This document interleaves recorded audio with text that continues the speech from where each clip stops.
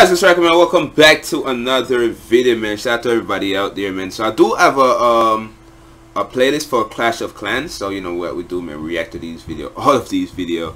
So definitely go check out the playlist and uh, yeah, let's check this out, man. So League, uh, sorry, the Legend of Ice Hounds, um, Ice Hound, Clash of Clans, man. So shout out to Clash of Clans, Supercell, man, for providing this video.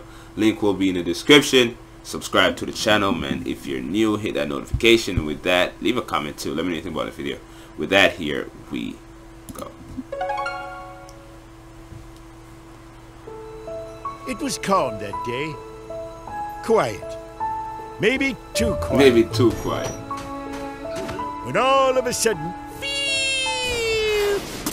oh the what? arrival of this terrible ice hound beast. My god Damn! But then, the dashingly handsome, the barbarian. heroic man appeared out of nowhere. His goatee gleamed heroically.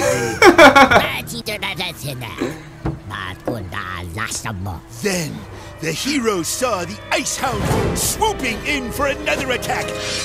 Oh no! Serious wizard! This is the moment of truth! Oh, the hero ran. He knew what he had to do. Damn! Whoa! That's the end of this. That was dope. That was dope. Push out the way like that was me, you know. That was dope. Where the super wizard comes out. That was dope. I thought I thought he was gonna be iced. Boom! Me. Excuse me.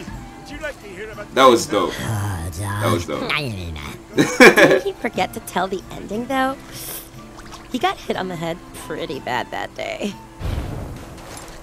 It took us a whole month to defrost him. Uh-oh. Damn! I see. Yo, that was dope, man. So let me know what you guys think about the the, the Ice Hound so far, man. They've been around. They've been um they've been in the game for the past what month or two. Um, let me know you guys using them, man. A pretty cool character. Um, had a lot of strategy towards the game, and so shout out to Supercell, man. Shout out to Clash of Clans official channel. Uh, shout out to you guys. Hope you guys enjoyed the video. And uh, yeah, subscribe. And um, with that, I'm out of here.